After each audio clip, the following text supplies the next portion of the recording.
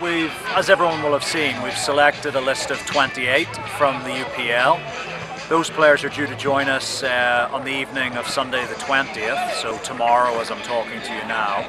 And they'll come into camp and we look to begin training um, from the 21st. And really, we don't have a lot of time because we will then be travelling out to Cameroon on the 28th of December to partake in a four nation tournament with our hosts Cameroon, Zambia, and Niger. So, really, over those six, seven days, we've got to trim that squad down. We're going to travel with 25 out to Cameroon initially. And so, yeah, those 28 will be competing, and we are just going to trim sort of three or four players from that group. Obviously, one of the big standouts from the squad that we've named is there's no place for any KCCA players in it at the moment, and that's purely because I think, as people are hopefully aware, KCCA have a couple of important CAF Confederations Cup games, one on the 23rd of December and another one on the 6th of January.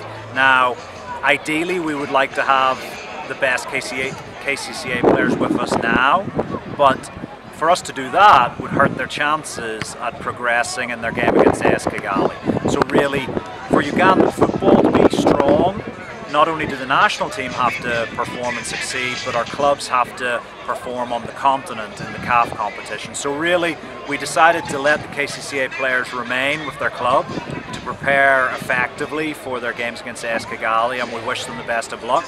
We will be monitoring those games and we'll be monitoring the players from a distance.